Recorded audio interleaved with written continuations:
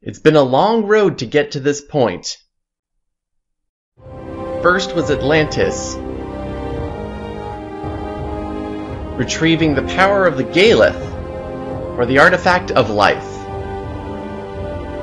Second, we retraced the steps of the first shaman, making our way down into the depths of the temple to find the Totem of Time. And the third was completing the true path, emulating the wheel of life and reincarnation in Buddhism. And by helping the Sita Bawawa, we are bestowed with the power over matter, the third and final legacy piece.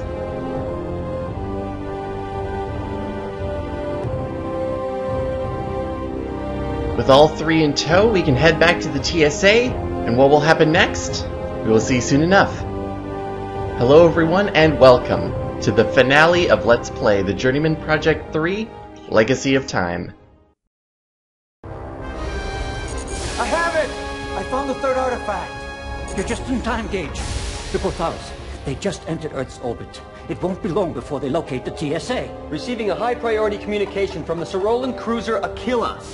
We have felt a great disturbance from the TSA. You have the legacy. If we have sensed it, believe that the Quo-thalas know as well. We are sending Cyrollan sentinels to assist you.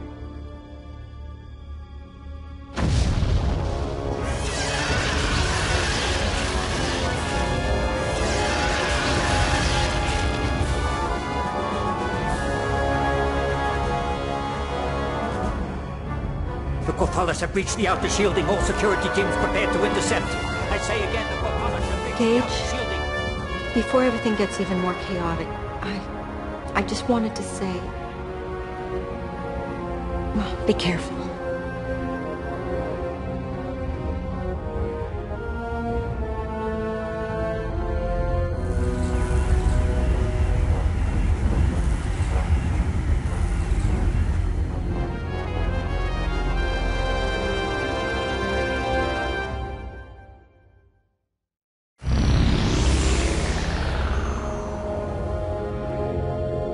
Gage, the three artifacts are projecting some kind of image. I recognize some of the elements. Remember the Sosiqui symbol that the Cyrollan ambassador showed us? This pendant is an ancient Sosiqui relic that our archaeologists discovered on another planet. We believe this symbol is a Sosiqui marking that represents their legacy. The true legacy might also bear this mark.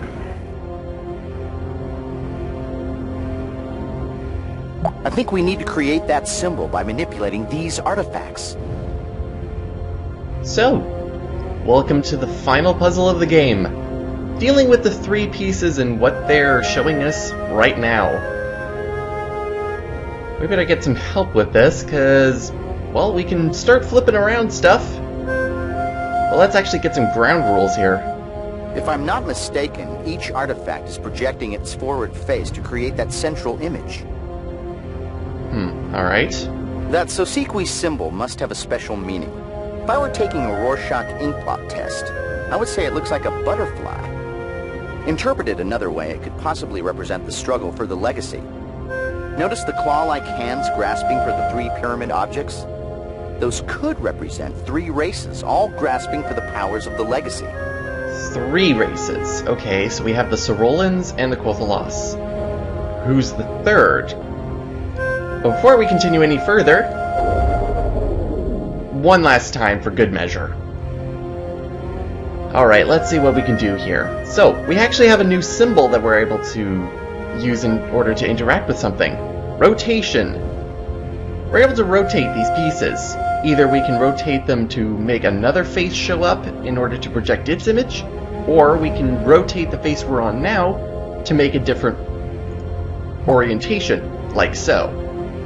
Hmm. Looks like each of the faces are unique, and with three pyramid-shaped objects, each with four faces, carry the one, there are exactly 1,728 possible combinations.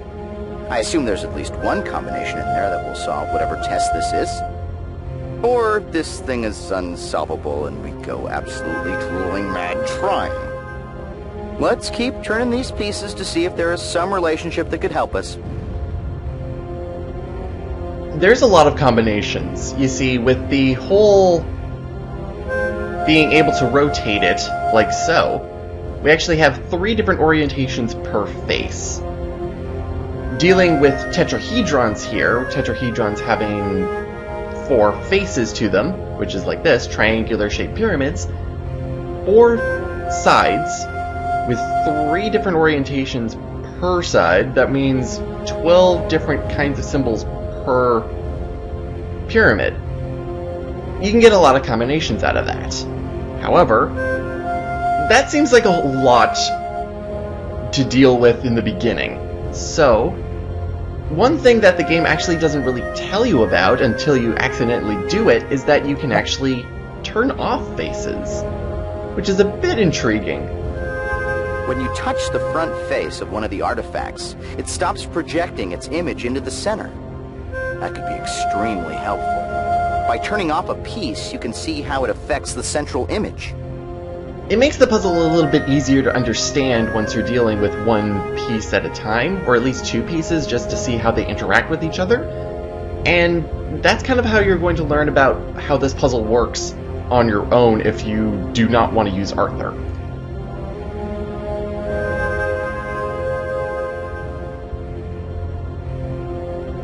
This piece is kind of an interesting one because no matter how much you rotate it, it's going to stay in the same orientation. So it, it's a bit of a static piece out of all of them. Now I understand how the image is being generated. The central image is a composite of all three artifact faces. It looks like the overlapping regions between any two pieces cancel each other out. And that's how this puzzle works, by overlap.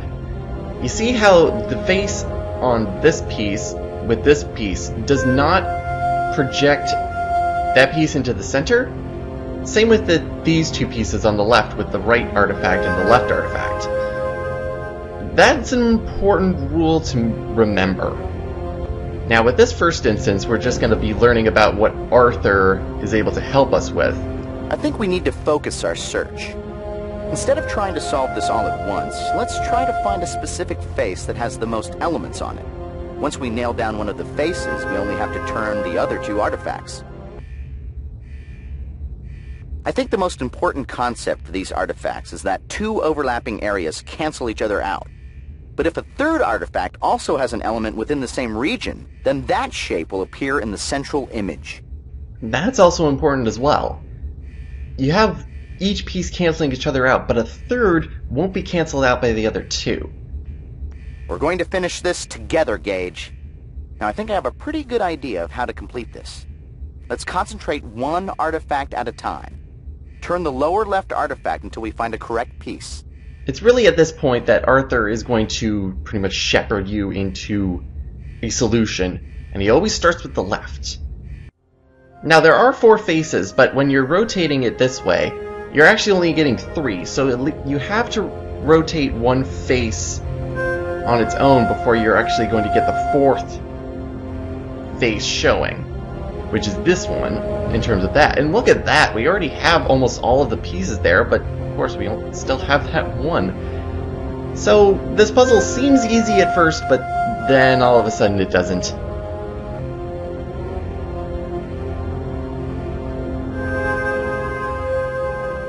Okay, Gage, it looks like you're having trouble with this puzzle.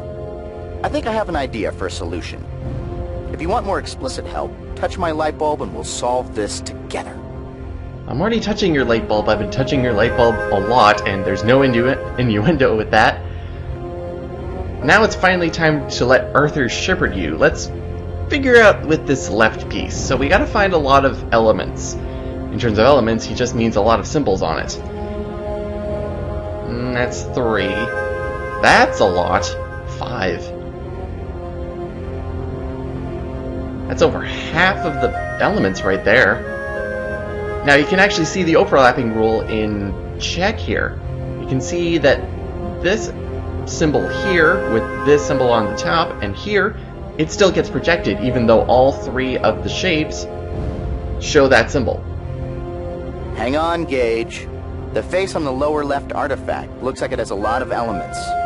That looks like a correct piece. Let's keep that side facing us and concentrate on turning the other two artifacts. Right, so when you get a correct piece in terms of Arthur, he will tell you to stop fiddling around with it and move on to the next piece. And he usually goes to the top. Always, actually. Gage, stop turning! The face on the lower left artifact is a correct piece. Now concentrate on turning the upper artifact. He also gets very enthusiastic about it. This alien technology is difficult, Gage, but let's not give up. I think we're pretty close. I'm sure our correct piece is part of the solution for this test. Our goal here is to create the Sosiqui symbol, but the proper combination may not necessarily be direct. It may require you to take advantage of that region overlapping rule. That is correct. We need to look at the pieces from a different angle. When two pieces overlap, they cancel out, but when there is a third element in that same region, it appears in the center image. I believe the answer lies in that concept. Keep our correct piece facing us while manipulating the other sides. You want to look for pieces that overlap, but have the net result of projecting the proper symbol. And that's why Arthur really goes for lots of elements. Because the more elements you have on a piece, the more likely that this overlapping rule is going to work in your favor. For instance, if we throw it back to this one and then find the top artifact with a lot of elements, mainly this one, which has all three of the triangles inside in two pieces, it's another 5 out of the 9. Hang on, Gage. The face on the top artifact looks like it has a lot of elements. That looks like a correct piece. Let's keep that side facing us and concentrate on turning the other two artifacts. Gage, stop turning! That face on the top artifact is a correct piece.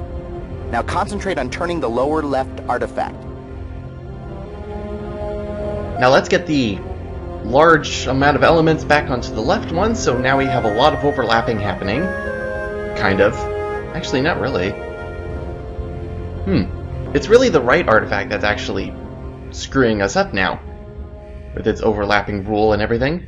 Good work, Gage. That's it. We now have two correct pieces. All that's left to do is to turn the lower right artifact. Now he focuses on the right. The static piece really isn't going to do much for us because no matter how much we turn it, it just stays the exact same. So, we have to find one last piece. Well, this looks like an interesting piece. You have all the correct faces showing, Gage. Now all you have to do is position them in the proper orientation. All you need to do is spin two of them, and you should soon have them correctly oriented. So, all three are in view, but they're not correctly positioned. So what we now have to do is pretty much see if any of the orientations actually make the image. And once the image is made, it automatically finishes the puzzle. And what happens when we finish the puzzle?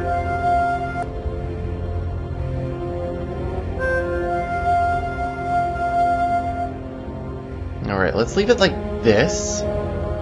Because if I spin the top artifact now, this piece will actually head over to the top right of the triangle and overlap correctly so that that piece is showing. And then we'd have that piece showing. And I think we'd be good to go. Let's do it. There we go.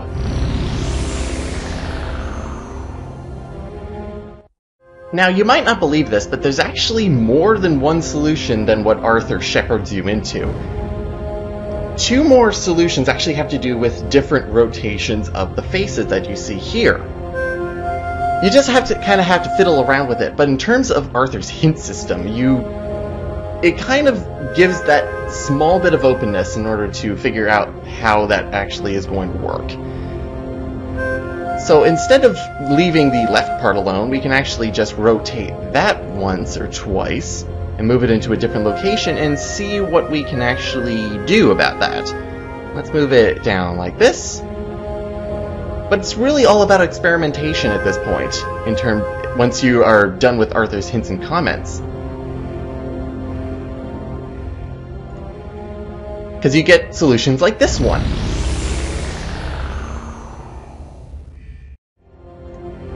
And of course, one final different rotation will actually get you one last...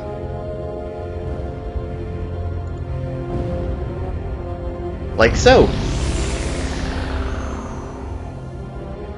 However, just because Arthur shepherds you into those particular faces does not mean that you only have those ones to go with.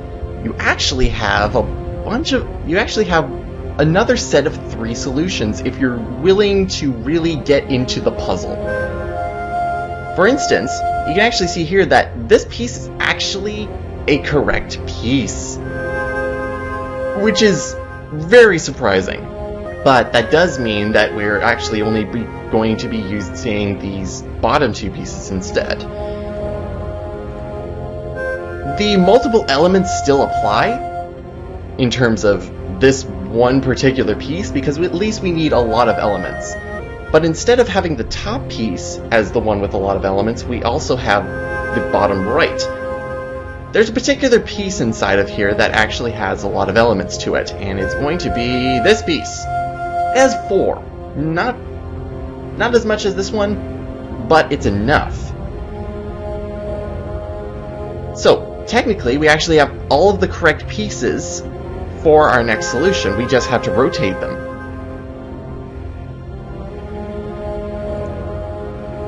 And not rotate it like that.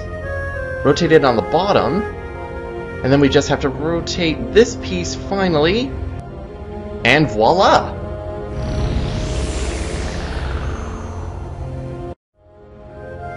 Now let's not do anything with this piece at all, and get back to our other pieces. A lot of elements there. Have to do that, and get the big piece there. Alright, and then we have these, these two pieces correct now. And then we just have to move the bottom left. And voila! There's another solution. Now there's one final solution and one last area that this can actually go into. And that is there. And we haven't used this configuration of these two pieces yet. And then we just have to switch it one more time and that is our last solution. See you for the thrilling conclusion.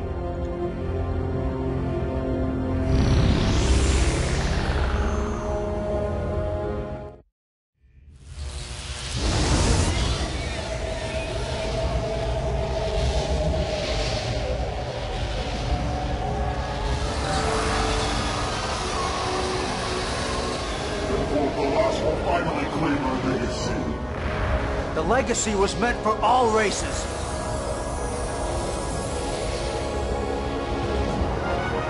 Agent Blackwood! Quickly, give us the legacy! The Quo-thalas will destroy us all if they claim it! The Zeronian killers have no right to our race. Can't you see the cycle is happening again? Your two races are battling each other over something that's supposed to bring peace. I won't let you turn this place into another battleground.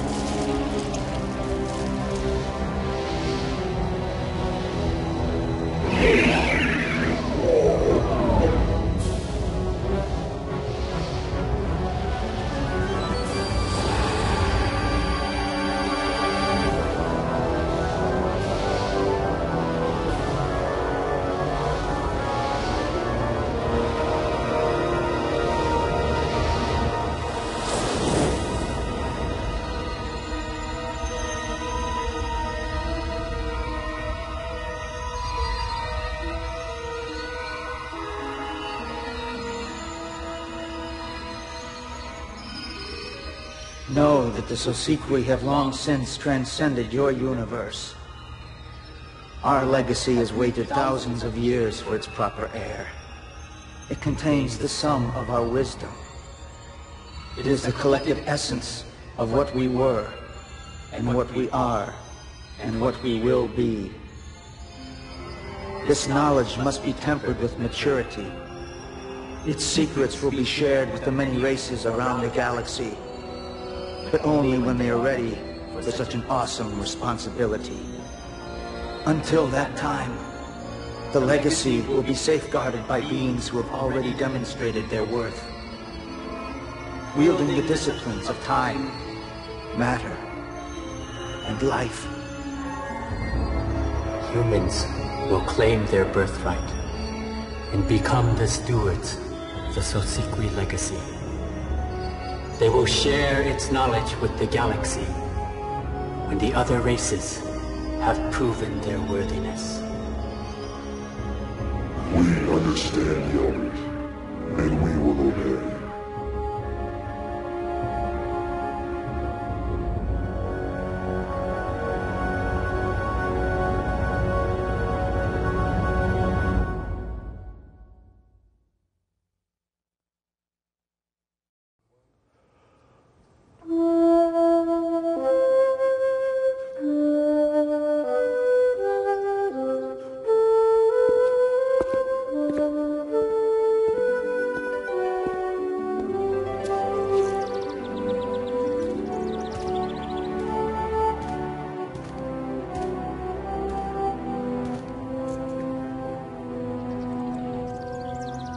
Great fate lurks in the future of humankind.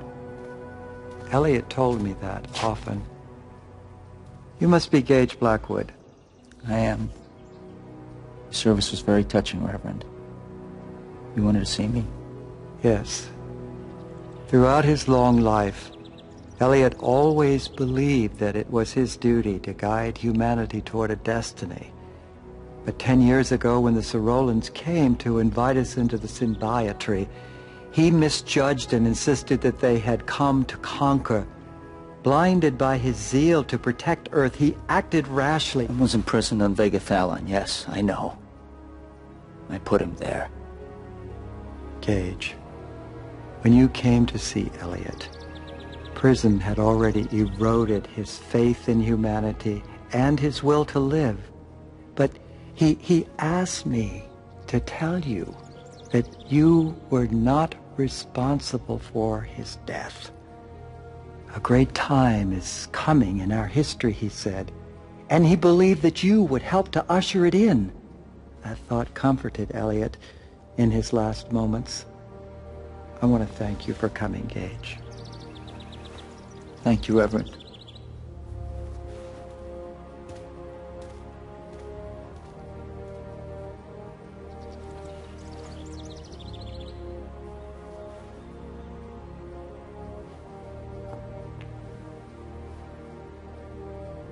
He was a great man once.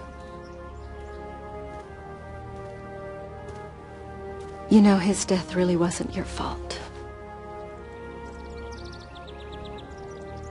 Gage, I wanted to thank you. I didn't expect to see you at my hearing, but because of your testimony, they commuted my sentence. You redeemed yourself. I only spoke the truth. Yeah, but you put your reputation on the line after everything I did to you. It's all in the past, Michelle. We both know we can't change the past.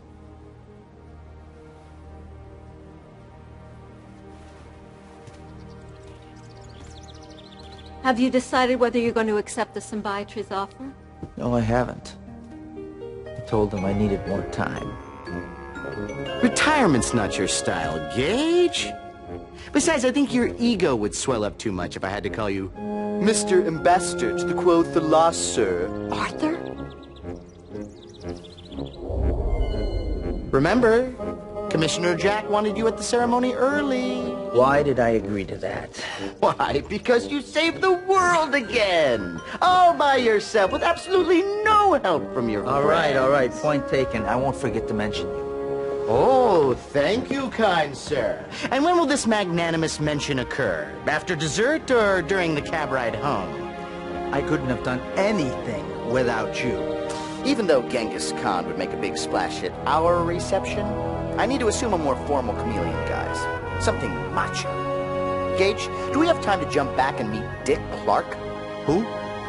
Never mind. He'll probably be at the party.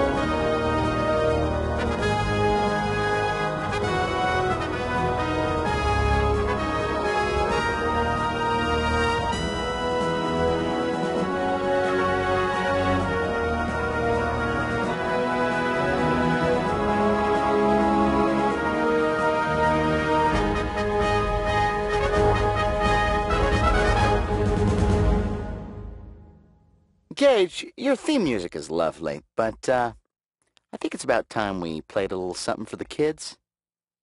Two, three, two, three. Dun dun dun dun dun dun dun dun dun dun dun dun dun dun dun dun Arthur dun dun dun they called him Arthur dun dun dun he was an artificial intelligence that was cool Arthur dun dun dun they called him Arthur dun dun they thought that his singing was annoying but he was no fool Artificial as soap. Artificial as rope. Artificial, artificial. He will find the love that is the one for Arthur's the lonely one. Arthur.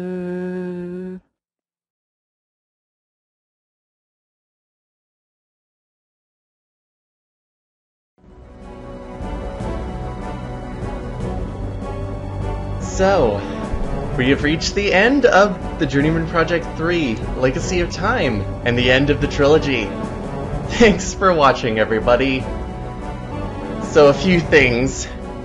The reception that the series has received, especially since I started with Turbo back in late 2011, it's been great.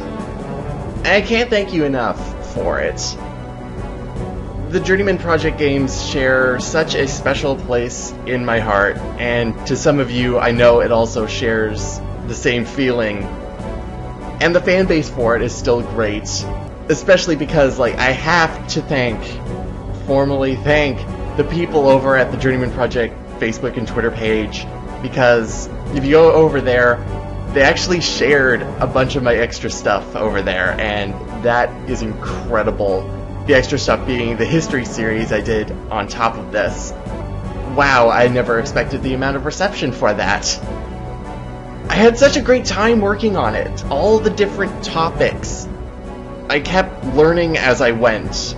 Like, two of the branches, I had no clue about anything, so I had to do intense research in order to understand what I was going to be saying to make sure that it was actually good in any respect. And I hope you learned something as well, because, like, each of the topics, like, they just spark some sort of curiosity in order to learn more. It's all starting from what Arthur says. It's great. It started off as curiosity for just one of the topics, which was Arthur talking about Thera, the very first comment that he ever says once you pick him up. And it's, oh, it's great. I love it and it grew into so much more than I ever thought it was ever going to happen. I was like, maybe I could actually do that, and it happened. I did it. So much work was put into it. it it's incredible. And of course, like in order to think about doing the series, I was actually inspired by another series that was done a couple of years ago. Like there was inspiration behind me actually doing this. So because of this, it's not really original that I did a history series, it's just that I did it for this game. And I want to give credit where it's due, because without that inspiration, it probably would never would have happened.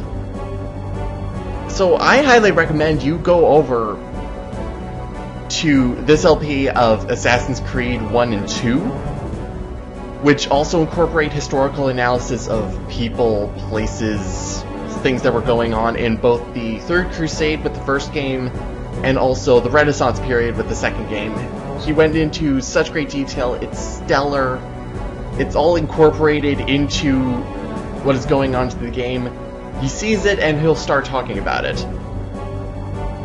I highly recommend you watch them because they're great and very well done. Another LP that I would like to recommend that is currently ongoing, at least at the time of this recording, is an LP of Deus Ex that I got started into watching. It's a very detailed LP and actually has its own history series going on at the end of every video, just kind of detached but still part of the video. Four different corners, as he calls them, in terms of discussion after every video, which have to do something within the video. And there's four different corners. One for conspiracy, conspiracy theories and all that. Well, literature, books that are either within the game, reference within the game, or whatnot. All the science that has to go on within the game, because there's a lot of that, and also a little bit of philosophy. It's a great LP so far, and I'm going to be putting links to those channels and those series. They will be in the video description down below. I'm glad I was able to do something like this for this series of games, the Journeyman Project series, because I have so much respect for these games. They're so great and wonderful, and I love them so much. And I don't know if I would ever be able to do something like this for another game. And I'm glad I was able to at least do it with this one. So, thank you everybody.